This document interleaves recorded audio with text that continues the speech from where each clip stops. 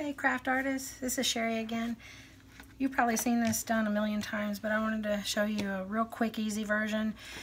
Um, I cut a lot of it out of the video, so I'll just kind of explain it. Take a Christmas bag, any size, any style, and a piece of canvas. Try to get it on sale at Michael's or Joann's if you've got coupons. And you want to cut the bag to match the the uh, canvas the best you can. Sometimes I paint the trim and then put the picture on top. And of course there's always two sides to every bag. So I always use the folded side of the bag as a guide to start the project.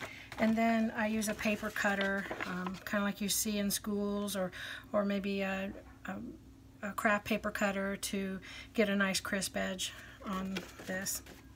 And what I've done is I've used Mod Podge just Mod Podge matte cover the whole surface. Try to keep it off the edges. Got a little bit over here, but try to keep it off the edges. Save your little tag that come with the bag because you can use that as a hanger. Then you're just simply going to line the bag up. Move it around. Get it nice and straight best you can. Pull out the air bubbles.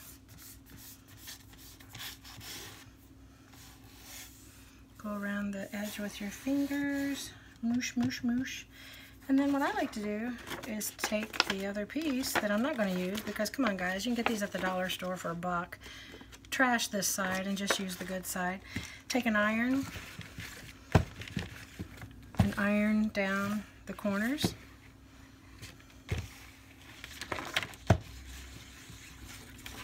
And I'm using the bag on top here to keep me from burning my paper or my canvas.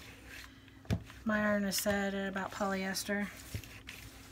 Just go down the, front of it too. Trying to remove any air bubbles.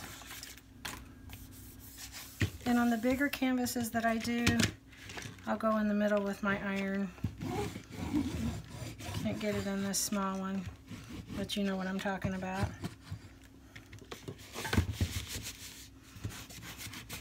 Those air bubbles. These make awesome gifts, guys.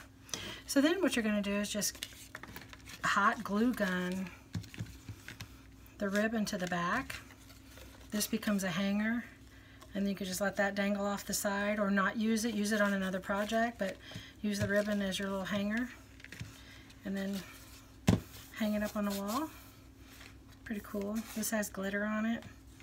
The red truck is kind of the in theme right now. Probably would have used a bigger piece of canvas for this, but all I had to show you guys was just these smaller ones or great big giant ones, which it was too big for this bag. But it gives you an idea how it's done. Let me show you another one I just finished. This one's really cool. This one has a tag that matches this design, so I'm going to use that tag up here as a hanger. This is about a 12 by 14, I think it is. Just to give you an idea. So again, nutshell, you're just going to take a piece of canvas, cover it with decoupage,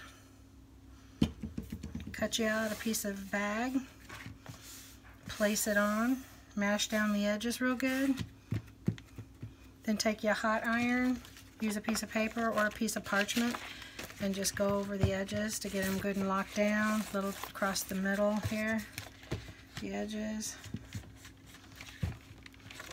And it mushes them down. You don't have to decoupage the top of it. Sometimes you'll get a little decoupage stain on there. Just take your finger with a little water, just a tiny bit, and scratch off that extra decoupage because it'll have a sheen to it.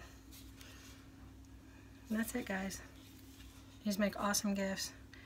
Dollar store, Dollar Tree for the bag. And you can buy these at Michael's in bulk.